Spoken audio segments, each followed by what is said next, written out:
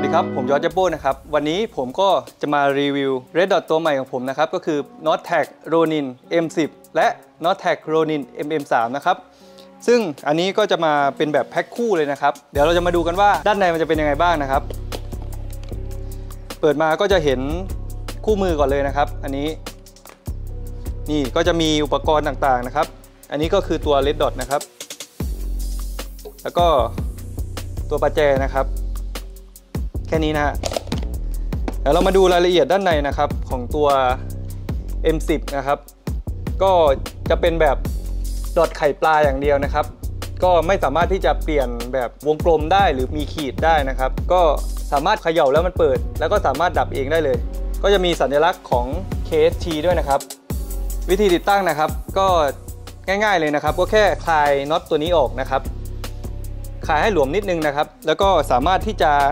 ใส่รางพิคาเตนี่ได้เลยนะครับ กดตรงน็อตที่คลายเมื่อกี้นะครับ แล้วก็ดันตรงๆได้เลย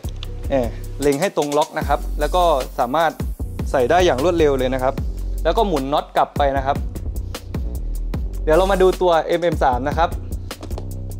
นี่เลยนะครับ ด้านในก็จะมีคู่มือเหมือนเดิมเลยนะครับ มันก็จะเป็นตัวซูมหลังนะครับ ซึ่งสามารถฟลิปได้อย่างนี้นะครับ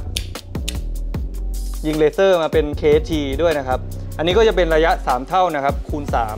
3 สามารถที่จะใส่คู่ด้านหลังแบบนี้ได้เลยนะครับ วิธีการติดตั้งก็ง่าย ๆ เช่นเดียวกันนะครับ ก็คือใส่ไปตรงๆอย่างนี้นะฮะนี่ให้มันเข้าร่องให้ดีนะครับ แล้วก็หมุนอย่างนี้นะครับ ให้แน่น จะใช้ประแจที่เขาแถมมาให้ก็ได้นะครับ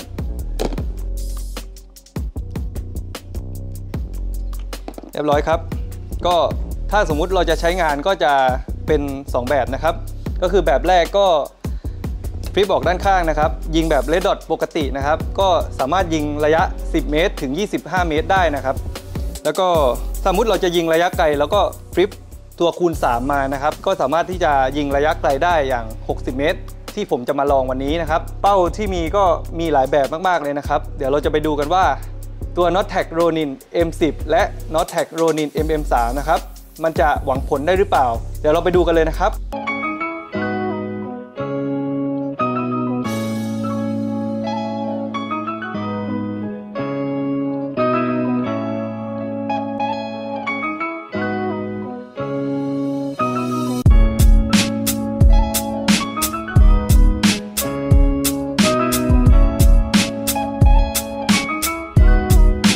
คือแม็ก2นัดของเดย่านะครับ เดี๋ยวคลิปหน้าผมจะมารีวิวเต็มๆให้ดูนะครับ โดยกระสุนที่ผมจะตั้งกล้องในวันนี้นะครับ ก็คือลูกสลักนะครับ วันนี้เราก็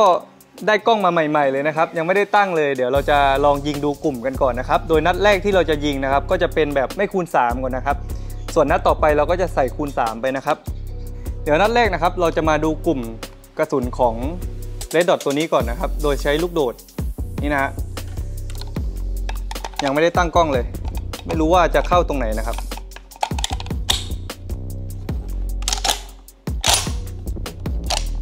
เช็คครับ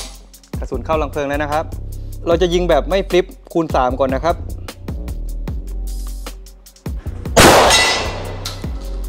เรียบร้อยนะครับ นัดแรกก็โดนด้วยนะครับ โอเค เดี๋ยวเราจะลองใส่ฟลิปดูนะครับ ฟลิปคูณ 3 เข้าไปดูนะครับ ว่ามันจะเข้าหรือเปล่านะครับ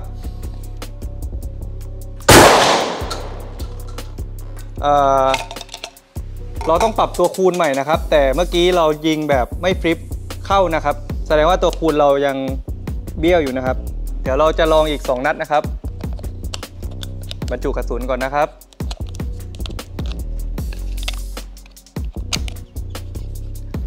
เดี๋ยวเป้านี้เราก็จะยิงเป้าสีน้ำเงินเหมือนเดิมนะครับ ตรงด้านซ้ายด้านซ้ายนับจากเป้าแรกก็คือเป้าที่ 3 นะครับ เป้าสีน้ำเงินลูกคนเลย เรามาดูกันว่าเมื่อกี้เป็นเพราะมือผมสั่นหรือเปล่านะครับ ตอนเราไม่ใส่ตัวซูมอะมันจะเข้าตรงกลางเลยเมื่อกี้ โอเคนะครับ พร้อมครับ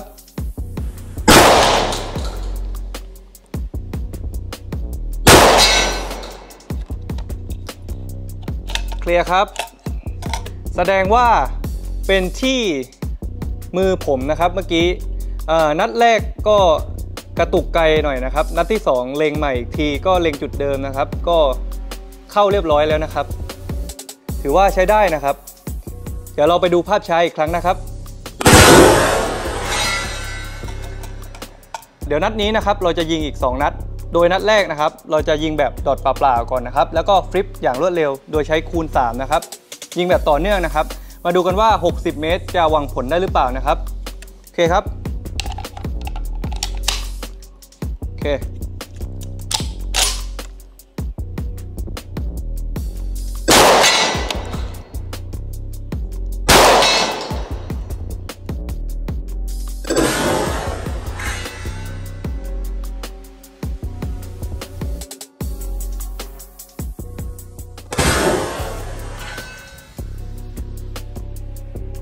ถือว่าหวังผลได้แน่นอนนะครับ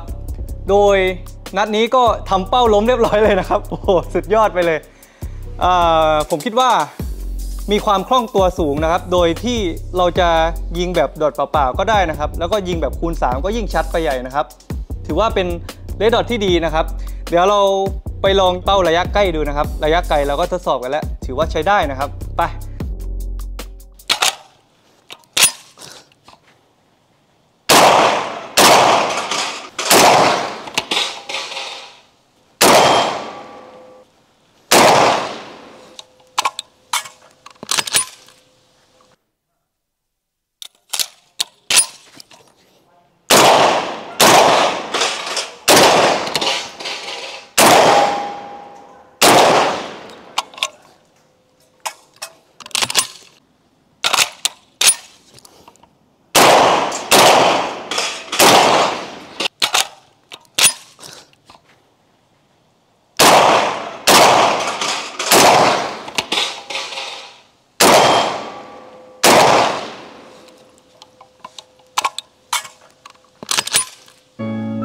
แล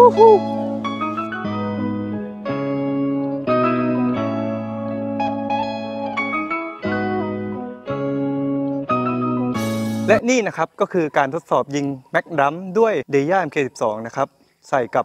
Ronin M10 นะครับ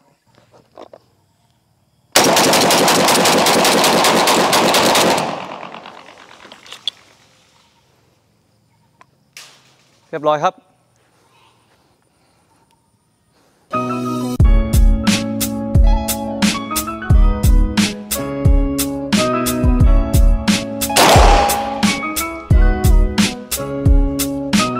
จากการที่ผมได้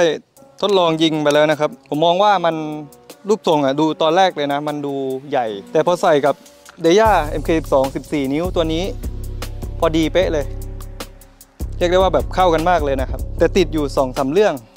เรื่องแรกนะครับก็คือเรื่องเลดดอทตัวเลดดอทเนี่ยมันจะเป็นจุดไข่ปลาซึ่งสำหรับลูกซองแล้วอะมันควรจะเป็นวงกลมหรือเป็นกากบาทนะครับ มันน่ามีให้เลือก 3 แบบอะไรเงี้ย แต่อันนี้มีแค่ไข่ปลาอย่างเดียว เพราะว่าลูกซองอะมันต้องยิงกระจายนะครับ คือเวลายิงเราเราไม่ได้ยิงแค่ลูกสลักอย่างเดียวไงครับเวลาเรายิงอะเราอาจจะยิงแบบลูก 9 ลูก 70 ลูก IPSC ก็ได้นะฮะ คือลูกพวกนี้อะเราดูกลุ่มกระจายของของเป้านะฮะ คือถ้าเราถ้าเราเห็นเป็นวงกลมอย่างเงี้ยเราก็จะจับเป้าได้ง่ายมากกว่า เป็นจุดแดงนะ แต่สำหรับลูกซองผมคิดว่ามันน่าจะมีตัวเลือกนะ ส่วนเรื่องความทนทาน อันนี้ผมไปเห็นของคลิปของพี่ต่อนะครับเขาก็ไปยิงมาไม่มีพังเลยนะคือทนทานมากๆเลย ผมเมื่อกี้ลองก็ 60 เมตรก็ก็เข้าเป้านะครับ ทั้งแบบไม่ใส่ฟลิปคูณ 3 แล้วก็ใส่ฟลิปคูณ 3 ก็คือเข้าเป้า แล้วก็เมื่อกี้ทดสอบยิงไวไปยิงไวก็โดนนะครับ แล้วก็อีกอย่างหนึ่งดดไม่เคลื่อนนะ อีกเรื่องหนึ่งถ้าเอาไปติดกับปืนอื่น ผมคิดว่าใหญ่ไป เพราะว่าปืนอย่างพวก M4 รูปทรงมันจะเพรียวเล็กกว่า อาจจะไม่เข้าครับ พวกทศกัณฐ์อย่างเงี้ยเป็นปืนที่เล็กกว่านี้นะ เล็กกว่าเดย่าตัว 14 นิ้วตัวนี้ คิดว่ามันใหญ่ไป